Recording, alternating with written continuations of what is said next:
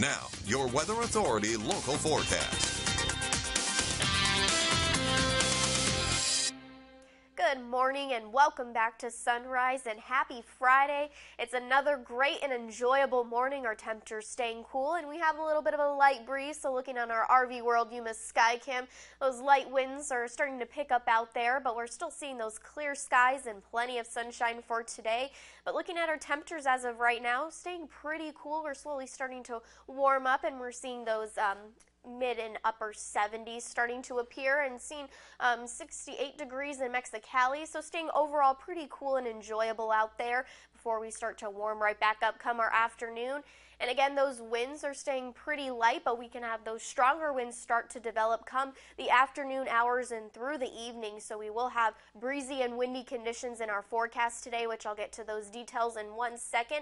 But looking at our air quality index presented by Imperial County Air Pollution Control District, it's looking pretty good, so we have no concerns as of right now. But as those winds start to develop, blowing dust and sand is possible, so we could see not so great air quality as the day goes on.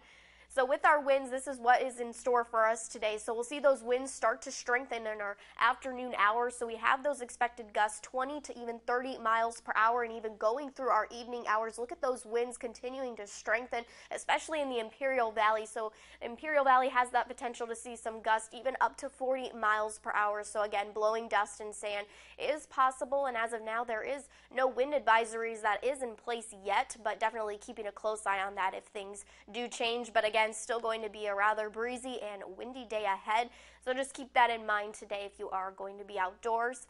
But the good news is, is we are going to be cooler with our temperatures, so we are going to have those temperatures actually be normal. So it's going to be rather comfortable and seasonable for today and even cooler come tomorrow. And we'll still stay dry with our conditions and see plenty of sunshine through the weekend. So really enjoy the cooler temperatures that is to come. So looking at our forecast today, again, enjoy these cooler temperatures as we have a break from those triple digits and we'll be in those mid and upper 90s for today in our afternoon highs.